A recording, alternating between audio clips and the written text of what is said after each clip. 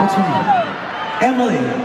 I saw Emily at a show in Cleveland. Where did I see you when you were way up in the Chiefs? In Cleveland? We're playing that song, and I was telling a little story, and sure as fuck, I look up on the top of the top of the top, and there's Emily dressed in that Supergirl outfit. I went, yeah!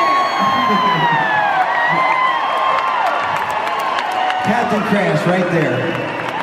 Hot damn, Emily, now you got down the second row. There's still two more shows on this leg, you can get to the first row. Thank you all very much for coming out to see us tonight. I really want to thank you.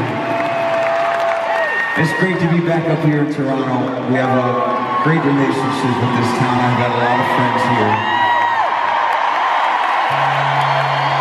And I want to thank you very much for your kindness and your support. Um, you know this one. Phil, your mama's here. You want to sing? Oh, this could be the day. You got to do it all.